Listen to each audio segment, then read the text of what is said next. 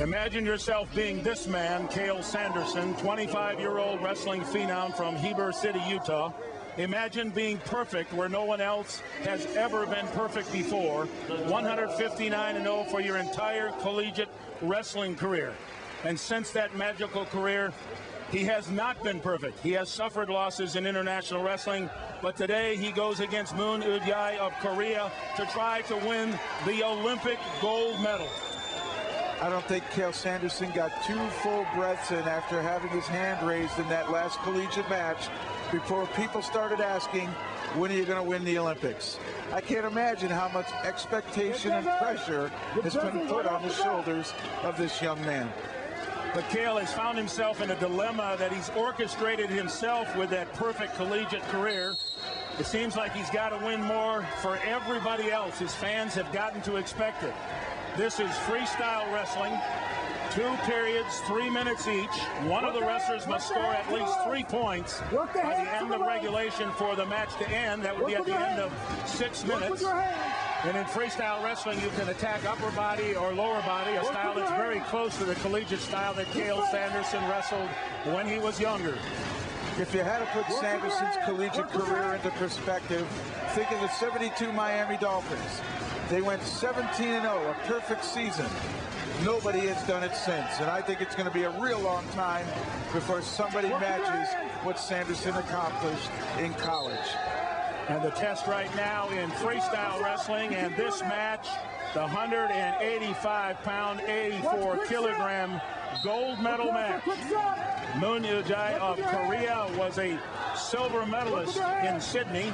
He was also second in the world in 2001 and 1998, so he's a seasoned veteran. He did that at the 76 kilogram weight. Moved up right now, and the matchup here should be a pretty even one between these two. And Cael Sanderson comes from a very strong wrestling family.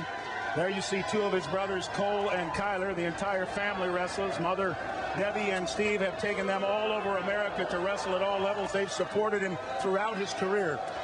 And Father Steve has been a very successful coach at Wasatch High School, building a dynasty there as his sons wrestled through high school. And we have a passivity call. Moon of Korea is put down. The officials have determined that he is less aggressive, Cael Sanderson. They give Sanderson an opportunity to work in this top position and try to put some points on the board.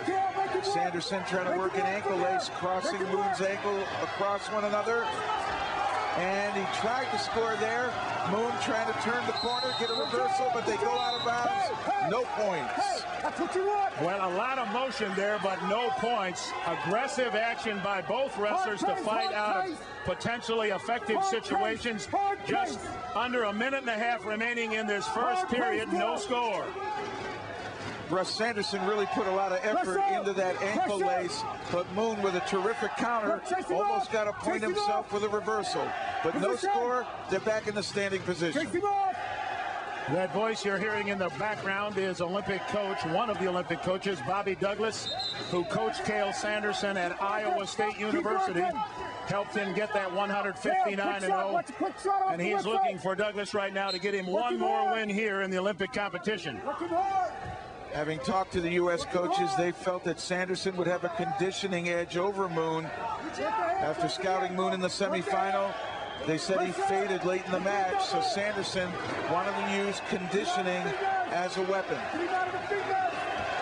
And we still have no score with 45 seconds remaining in this period. Cael Sanderson out of Ames, Iowa, going against Moon Eui Jae of Korea.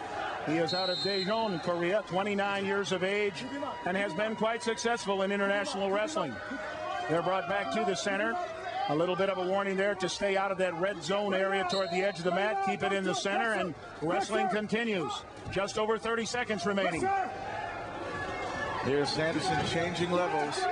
That's his effective technique, working the head of his opponent, changing levels and getting down to the opponent's ankles.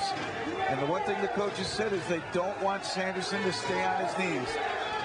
I've seen many of Sanderson's losses in international competition, and normally it occurs when Sanderson takes too long on his knees to finish the takedown.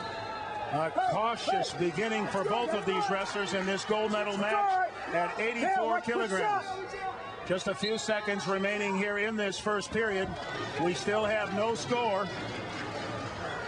Wrestlers showing great respect, and that's the way the first period will end 0 0. Hey. We got a guy of Korea in the blue.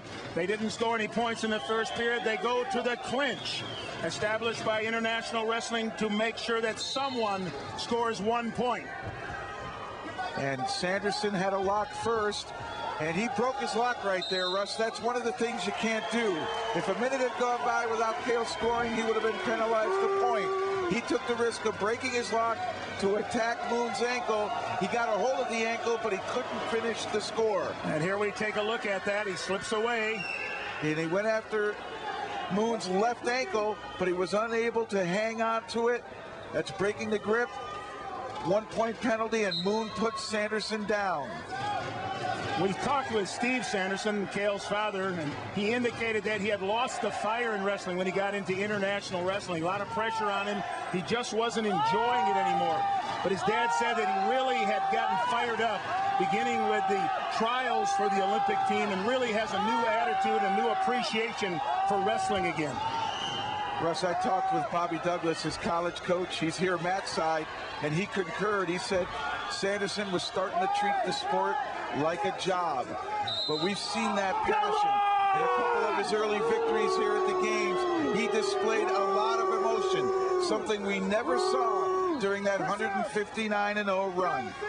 Well, his brothers were not happy with the call there. No points for either of the wrestlers in this situation.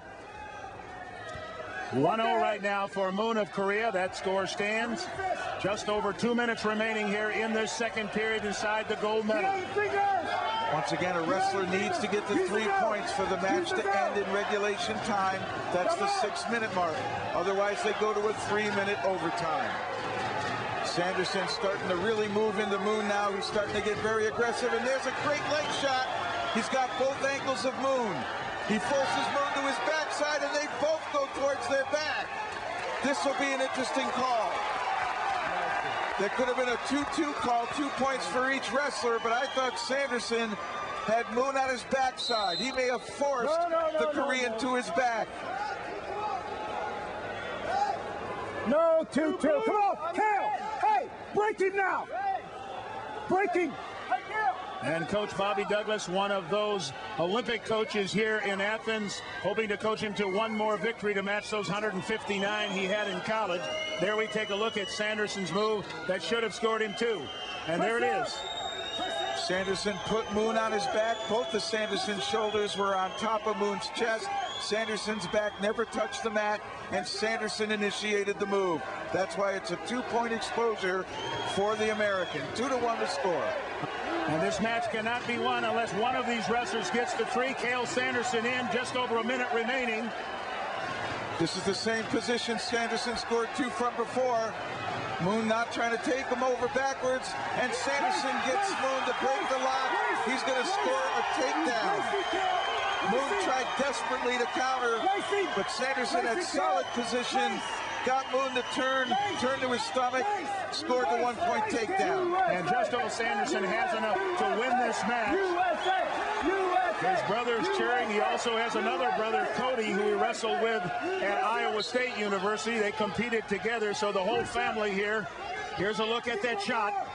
Sanderson in, maintaining good position. Moon tried to bring him over for a counter, couldn't do it. Sanderson with that third important point.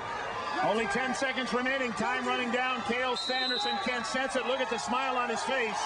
He knows how close he is. And there's some emotion. Normally we never see it, and it's obvious he's enjoying himself. Six seconds to go. This for the gold medal. Time ticks down, and that is it.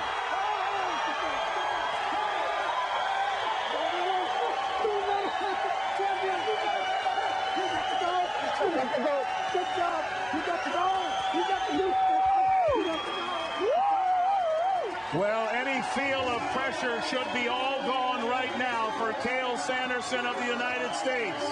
He has won the gold medal. The monkey is off his back. His college coach is elated for him.